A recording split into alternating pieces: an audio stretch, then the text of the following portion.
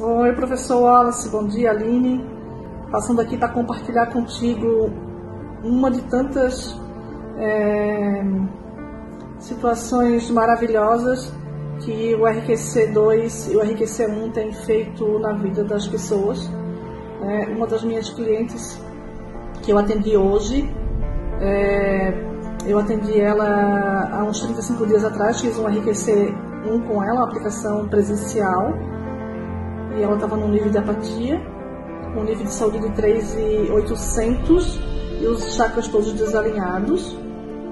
E, e daí eu venho aplicando dela então, nela desde então, uma vez por semana a egrégora. E hoje eu atendi ela no, no individual de novo, só que individual online, tá? É, então, ela estava lá no nível da apatia 35 dias atrás. Hoje, quando eu fiz a mensuração dela antes de fazer a aplicação, ela estava no luto no nível de saúde de 6,480, né, bem em cima da linha, e com os três chakras inferiores e o cardíaco desalinhados. É, logo depois da aplicação da técnica, ela pulou da apatia, quer dizer, do luto, né? Ela estava na apatia, foi pro luto, e do luto, ela hoje, depois da aplicação, está no desejo o desejo no nível de saúde de 11,400 e com todos os chakras alinhados.